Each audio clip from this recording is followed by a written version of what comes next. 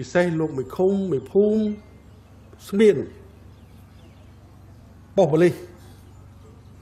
ណែប្រហែលតួអង្គនេះ គឺសំខាន់ណាស់សំខាន់តលមែនតើបាទបើថាតួអង្គទាំងប្រមាណហ្នឹងគឺថាមិននាំគ្នាធ្វើឲ្យល្អទេវិជាអធិពលទៅដល់រដ្ឋាភិបាលរដ្ឋាភិបាលនឹងមិនកើតទេគាត់ធ្វើអត្តសញ្ញាណបានបានផងអានេះ ទៅជេរដល់សម្ដេចនាយកជេរដល់អ្នកដឹកនាំផ្សេងទៀតរដ្ឋមន្ត្រីមហាផ្ទៃឧទាហរណ៍អញ្ចឹងប៉ុន្តែជាពិតស្មានឃុំសោះដែលធ្វើមិនល្អមេភូមិមួយសោះដែលធ្វើមិនល្អមេឃុំមួយសោះដែលធ្វើមិនល្អឬក៏ប៉ុស្តិ៍ប៉ូលីសមួយសោះដែលធ្វើមិនល្អនេះបញ្ហាដែលយើងចង់អញ្ចឹងអញ្ចឹងហើយគឺថាអឺសុំអំពីនីវម្យ៉ាងគឺ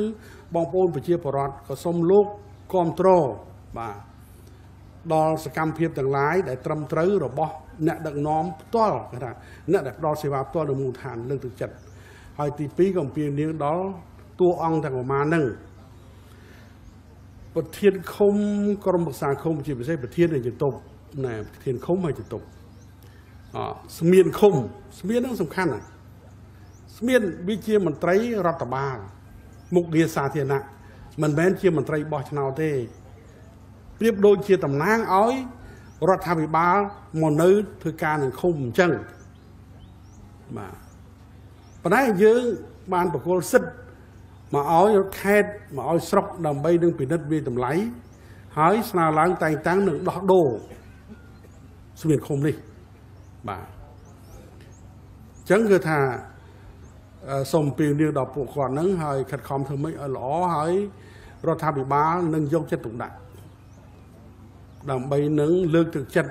តាមលទ្ធភាពតាមមធ្យោបាយគ្រប់បែបយ៉ាងដល់មេភូមិនេះអនុប្រធានភូមិនេះមេឃុំចន្ទប់ស្មៀនប៉ុស្តិ៍នគរបាលមិនមែនគ្រាន់តែជាលំនៅឋានដ៏កក់ក្ដៅប៉ុណ្ណោះទេ តែជាទីកន្លែងដែលអាចសម្រាកលំហែរំសាយរាល់ទុក្ខកង្វល់អារម្មណ៍ស្មុគស្មាញបន្ទាប់ពីការនឿយហត់ពេញមួយថ្ងៃ